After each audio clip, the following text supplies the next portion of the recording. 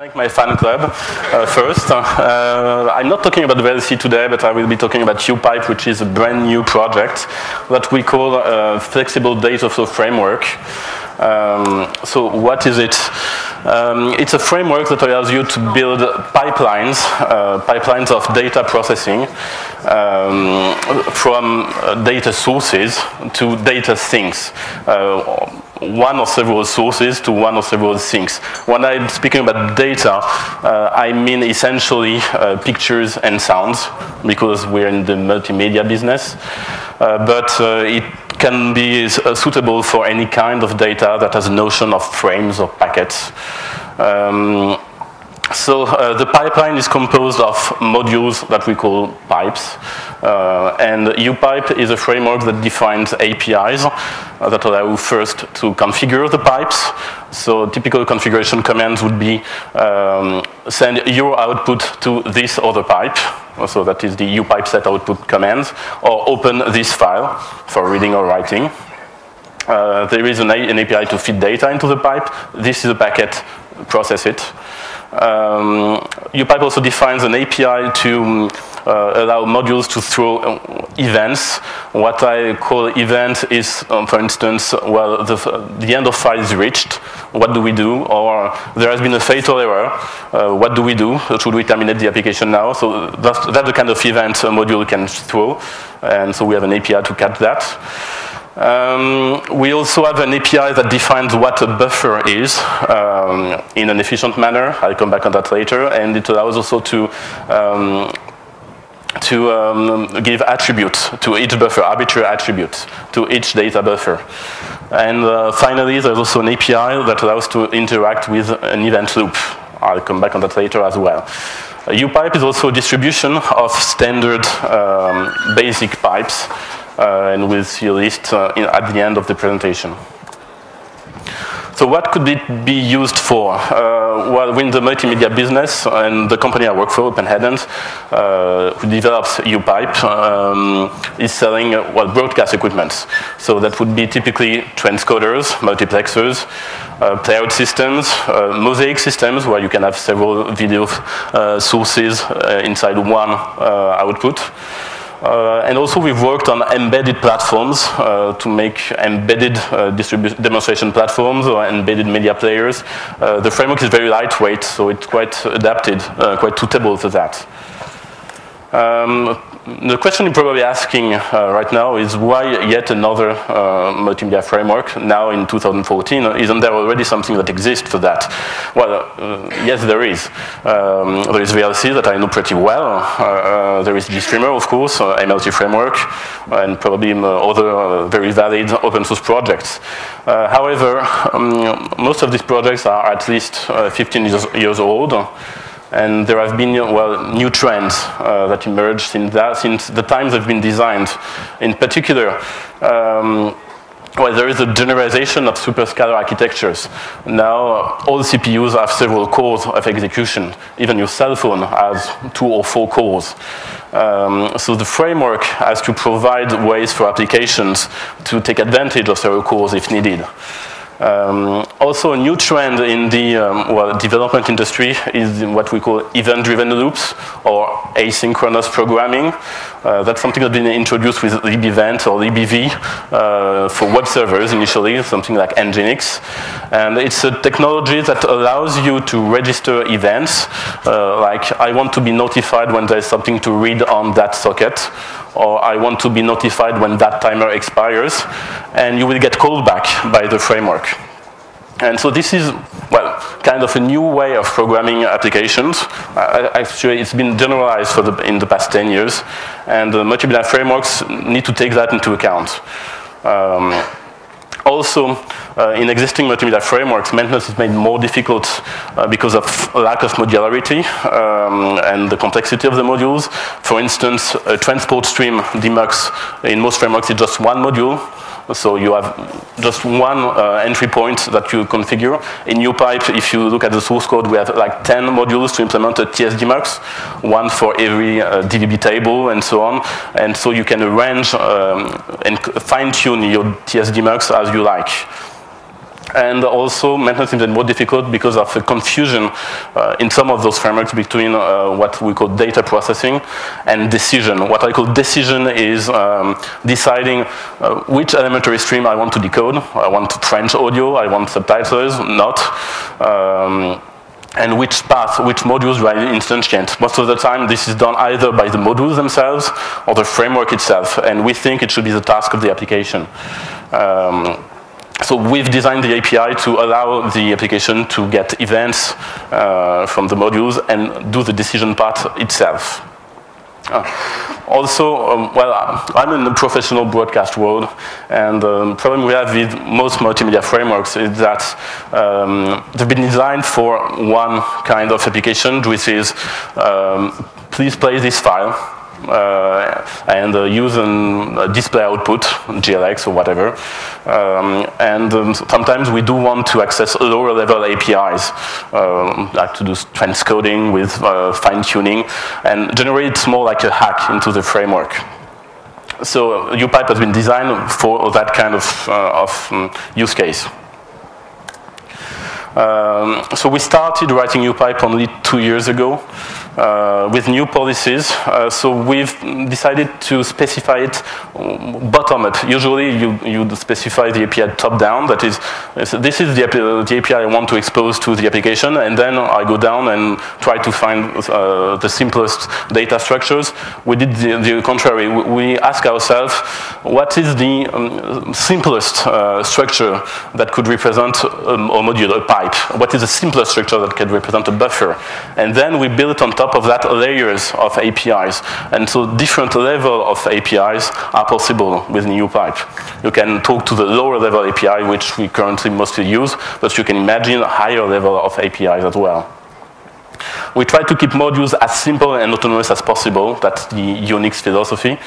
Um, and that allows us to do very intensive unit tests, including um, uh, check for memory leaks with Valgrind. All our code goes through Valgrind.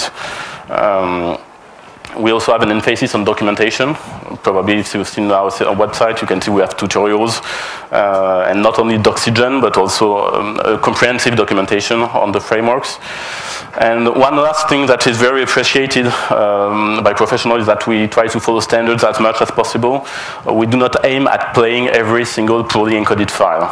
Uh, if a file is not is encoded and does not follow the spec, well, we may not play it, and we're happy with that.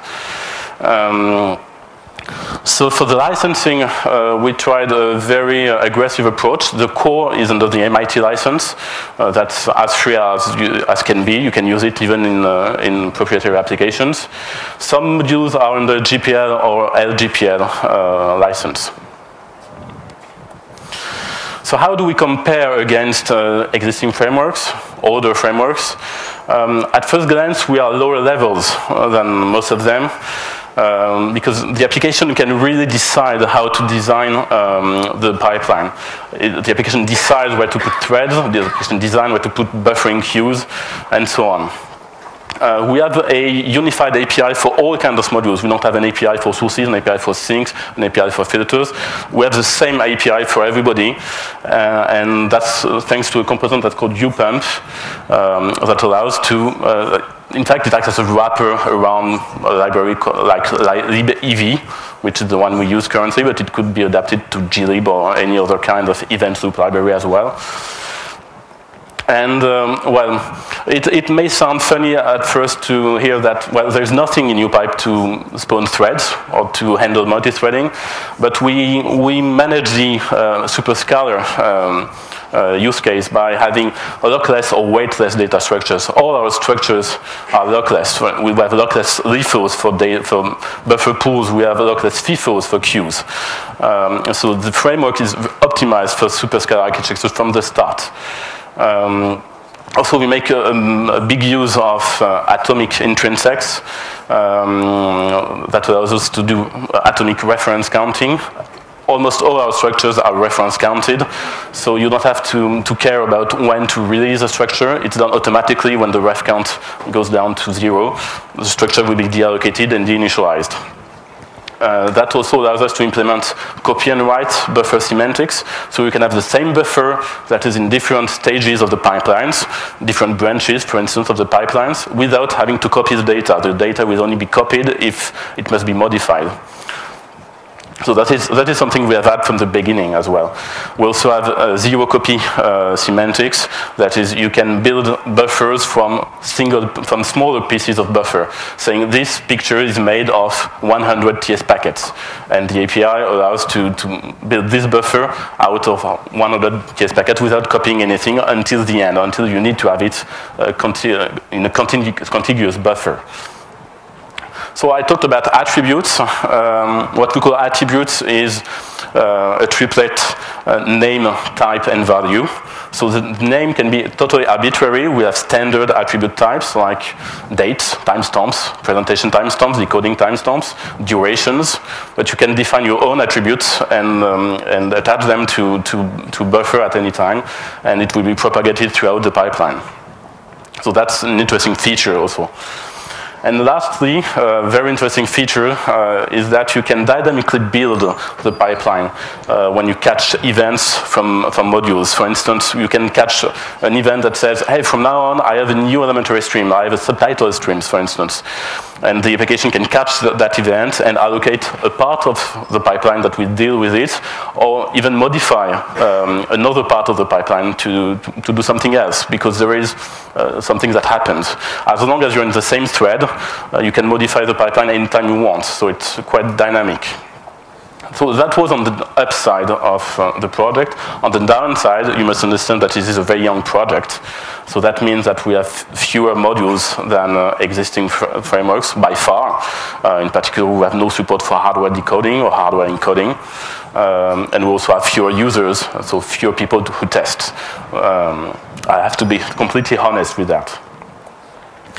So about the status, um, we've just released uh, what we call UPipe preview release number two. Um, we're quite happy with the API and we have no plans to change at least the module level and the application level API for the moment. We may want to improve uh, the API by adding new calls that will make uh, application developers' life uh, easier. But see, it's quite a good starting point if you want to have a look at it uh, and start developing for it. Uh, there are already many modules that are available. Um, from, from, external libraries, we have support for FFmpeg slash libav. We have support for X264. Uh, and we have a few native modules, in particular TS demux and TS mux. This is our core business. Um, and everything that you need to read a file or to read uh, streams from UDP or HTTP, and so on. And we have utility modules such as DUP, which allows you to put a branch in your pipelines, a trick play or dejittering of data, and queues, of course. Uh, I would like to end the talk with a few examples. So this one is an example of um, well, the GLX Play uh, uh, example. Uh, it has three threads. The main thread that is running the GLX um, uh, module, and it has one source thread that reads data from the network and from the file, and one thread, decoding thread, um, that takes data from uh, the source and decodes it um, to, to, add, to, output it finally. So you can see the use of queues here, uh, one queue after the source thread and one queue after the uh, AV codec thread. Um, you can designing the way you, you want. Um, we have no problems with frameworks who require you to do all your output in one thread. For instance, the PP API of Chrome requires you to have all your outputs in one thread. Well, it's not a problem. You can have queues that will bridge all buffers to one single thread and output them from this thread. Uh, you can really build the pipeline as you want. Finally, this is an example that is a bit more complicated. Uh, that's a, a, real application that runs in our product, that we call it uRecord hash. It's a program that does uh, four, four, things at once. Uh, it receives a UDP streams, uh, that's on top of it. Um, and it, first it writes uh, the buffers to, the TS buffers uh, to the disk. So that's a data sink on the, on the left. At the same time, it writes the reception time of each buffer to an index file that the aux sink on the, on the right. Uh, this file allows you to play, replay this, the stream exactly as we received it for time shifting purposes or debugging purposes or whatever. And the big blob in the middle uh, instantiates TS demux and a decoder um, that allow us to do two things. First, uh, we have a JPEG sink, so we um, write thumbnails of the stream on the, on the fly. And um, also we have hash sink, which writes fingerprints um, that uh, allow us to do well, quickly um, frame detection on, on the stream. So all of this runs in three threads that are not symbolized here in, the schematic, but um, it's something that would have been very difficult to do in many other frameworks. So um, to summarize, uh, we would ask you to keep in touch with us. We have more information on our website. We also 24-7 uh, on IRC on Freenode.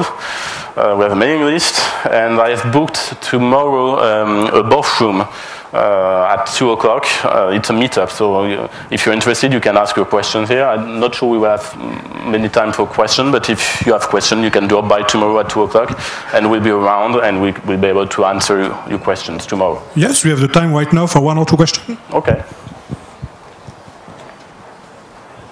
There is one person. Hugo. Ah. Hugo in front. Um, so this might be actually a quite vague question, and you might want to go for more specific ones. Though you mentioned unit tests for, well, a multimedia framework, and I just would like to know more about what approach did you take for this. Um, basically, every time we write a new module, by module I, I, have pipe, every time we write a pipe, we have a unit test associated with that, that uh, will send control commands to it, we try to feed data into it, um, fixed data or randomly generated data, and um, we check if the output is well the same as what is supposed to be defined. Um, and if it changes, it's considered to be an error. Or if there is a memory leak detected by Valgrind, it's also supposed to be an error. So that's for pipes. Now we also have a lot of source files that uh, implement well buffer management or, or UPump. And this, for UPump, for instance, it's tested by having a unit test that forks several threads and uh, tries to well, send packets to different queues that will be read by different threads. And uh, we, will, we check that we receive all buffers in the correct order uh, and that we do not leak anything and so on. So um, the interest, the interest of, um, of the framework is that every module is very autonomous. So you don't have to import uh, thousands of lines of uh, support code to run them. Uh, just a few headers are, um, are needed to, to, to, to be able to test the modules you're writing. Thank you very much. You're welcome.